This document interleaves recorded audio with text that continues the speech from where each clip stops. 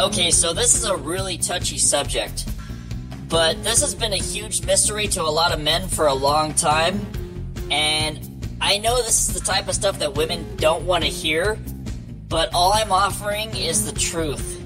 So don't get mad at me for calling out female nature, okay? So I've been with a pretty good amount of women in my lifetime. Uh, not to brag or anything, but it takes this kind of life experience to expose the truth. And one thing I discovered in life is all women are the same. They all want the same stuff in bed. Even though they'll never admit it in a million years. They're gonna tell you that they're different from other women and stuff, but every single woman I've ever been with eventually requests some sort of physical abuse in bed. Let me repeat this. Every woman eventually requests some sort of physical abuse during sex. That's right.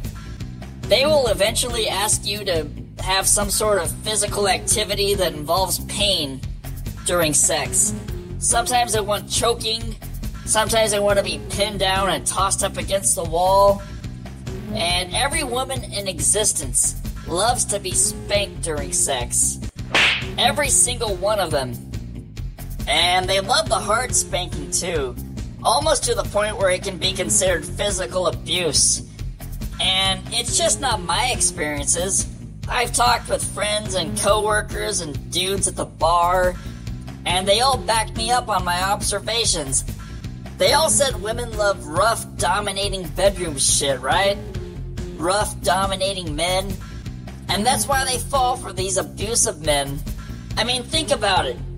How many nice guys are gonna choke out a chick in bed? How many good men are gonna spank a chick with authority during sex? How many nice dudes are gonna bite a gal in the bedroom? How many beta bucks are gonna dominate a chick in the sack? Probably not a whole lot.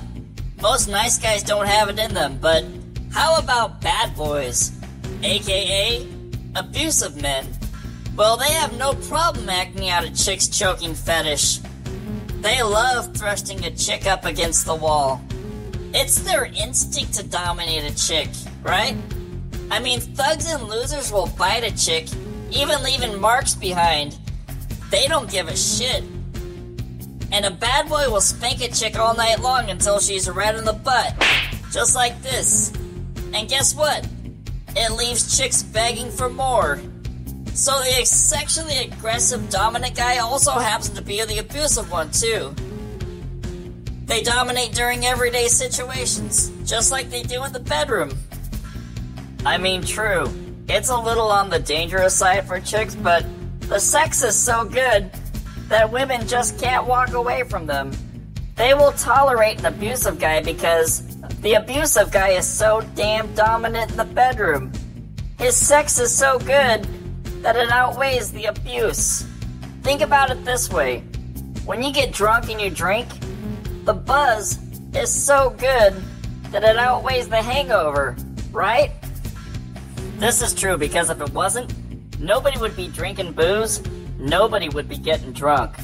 Abusive in the bedroom also means dominant in the bedroom, which boils down to being good in bed. This is true with all females, they all like this shit. Even though they're never gonna admit it in a million years, they're gonna tell you that they hate jerks and they love nice guys and all that shit, but that's all a bunch of bullshit. They enjoy every second of an abusive guy, a dominant bedroom alpha male. So women will stay with abusive men because the dominant alpha male sex is so damn good. Next time you talk to a gal who's in an abusive relationship, ask her how often the two of them have sex.